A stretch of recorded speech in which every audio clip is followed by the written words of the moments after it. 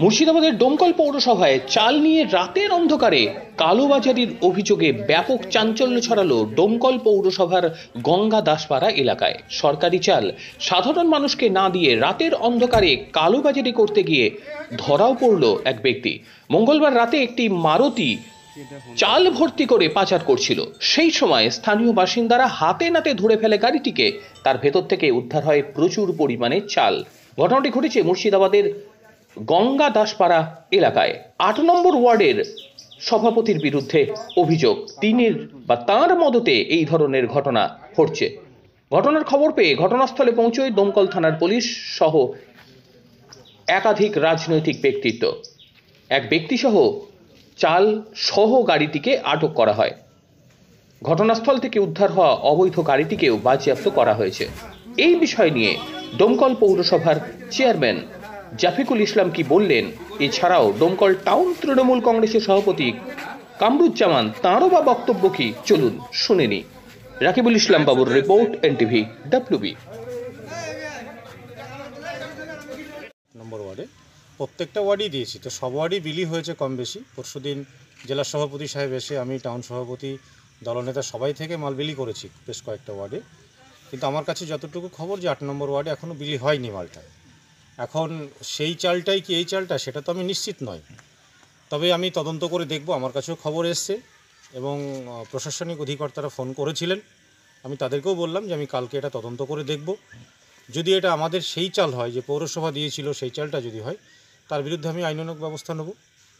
আর ওই ওয়ার্ডে যে মাল বিলি হয়নি, সেটা আমি যে সমস্ত লোকের আজকে ঘেরাও করেছিল, তারা অনেকেই আমাকে ফোন করেছে। যে আমরা কোনো মাল পাচ্ছি না।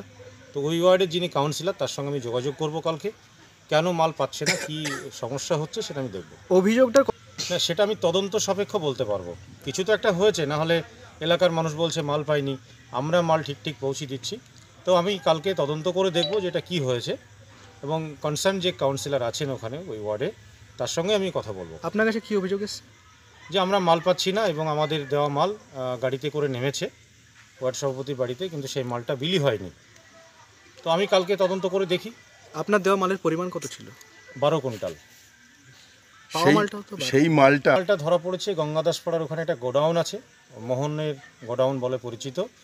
এলাকার মানুষ ধরেছে। সেখানে শত শত মানুষ একতা হয়ে মালটাকে ধরে থানাকে ফোন করেছিল। থানা গিয়ে মালটা সিজ করেছে গাড়ি সিজ করেছে এবং ওই গাড়িতে ওয়ার্ড সভাপতির বাবা ছিলেন তাকে অ্যারেস্ট করেছে।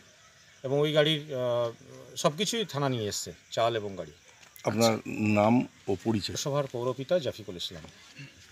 আজকে খবর পেয়েছি আপনারা যে সময় আমাকে প্রশ্ন করছেন তার এক ঘণ্টা আগে আমি শুনলাম যে আমার কোনো এক ওয়া- আমার ওয়ার্ড সভাপতি আট নম্বর ওয়ার্ডের ওয়ার্ড সভাপতি মারুতি করে চাল বিক্রি করছে। তো যাই হোক আমার কাছে খবরটা এলো। তারপরে আমি খোঁজ নিলাম যেহেতু পার্টির আমি টাউন সভাপতি পদে আছি। সে ওয়ার্ড সভাপতি হোক আর সেই ওয়ার্ডের কাউন্সিলর হোক। তার আইনানুগ ব্যবস্থা যা দরকার তা আমি নেওয়ার জন্য আমি বললাম যে, দেখ, ঠিক আছে, দেখছি আমি। যদি এরকম অবৈধ কাজ, যেহেতু প্রত্যেকটা ওয়ার্ডে আমাদের যেসব কাউন্সিলররা আছে, ওয়ার্ড সভাপতিরা আছে, যা চাল পাচ্ছে তার থেকে বেশি দিচ্ছে। মানুষের অসহায়তা সেই জায়গায় পাশে দাঁড়াচ্ছে। আর সেই জায়গায় যদি এত বড় কাজ কোনো আমার ওয়ার্ড সভাপতি হতেই পারে, সে যদি অন্যায় করে, আর সেখানকার যে কাউন্সিলর আছে, সেও যদি অন্যায় করে, সে দলগত দিক থেকে পৌরসভার দিক থেকে চেয়ারম্যান সাহেব আছে, দলনেতা আছে, উনিও দেখবেন যদি আইনের মাধ্যমে যেটা হবে সেটাই দেখব। তবে সেটা তদন্ত সাপেক্ষ, আগেই তো আমি বলতে পারছি না, এটা কতদূর কি অবস্থায় আছে। আমি শুনলাম এটা কোনো এক গোডাউনে মালটা বিক্রি করছিল, সেই অবস্থায় হাতে নাতে ধরা পড়েছে। তো আমি এই শোনার পর আমি তো আসছি। আপনারা যে সময় আমাকে প্রশ্ন করলেন তার কিছুক্ষণ আগেই আমি এখানে পৌঁছেছি। তো যাই হোক, এটা আমরা বৈধ কাজ করব বৈধতার জন্য অবৈধ কাউকে আমরা রেয়াত করব না। তাতে দলগত দিক থেকে আমরা যথেষ্ট ব্যবস্থা নেব। ওয়ার্ড- সভাপতি আছে আট নম্বর ওয়ার্ডের রবি শঙ্কর পাল বর্তমান ভাইস প্রেসিডেন্ট প্রদীপ চাকি। কত নম্বর ওয়ার্ড? ওটা আট নম্বর ওয়ার্ড। অভিযোগ করছে এটা তদন্ত সাপেক্ষ যদি সত্য হয় তার তো অবশ্যই শাস্তি সে কাউন্সিলর হোক আর ওয়ার্ড সভাপতি পাবে। আমরা দল দলের দিক থেকে ফ্রেশ থাকতে চাই। তার জন্য আমরা কাউকে রেয়াত করব না।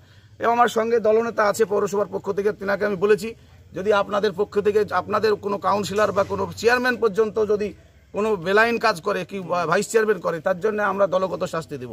তো ভাইস চেয়ারম্যান যদি এখানে অন্যায় করে থাকে সেখানে সে বিষয়টা কত কুইন্টাল চাল পায় কি পায় না পায় সেটা আমরা দলনেতার কাছে আপনারা জানতে পারেন। এবং সেই সেই হিসাবে আমি যতটা জানি আমার ভাইস চেয়ারম্যান ওয়ার্ড বলে আট নম্বর ওয়ার্ডে সেই পরিমাণ চাল পায়নি। তো সেই জন্য আমার এই জায়গাটা কড়াকড়ি আমাকে দেখতেও হয় দেখার জন্য আমি চেষ্টাই করব। বিষয় হচ্ছে চাল আমাদের পৌরসভা থেকেও দিয়েছে এবং আমরা পৌরসভার জিয়ার আছে বিভিন্ন রকমের পৌরসভা থেকে আমরা ব্যক্তিগতভাবে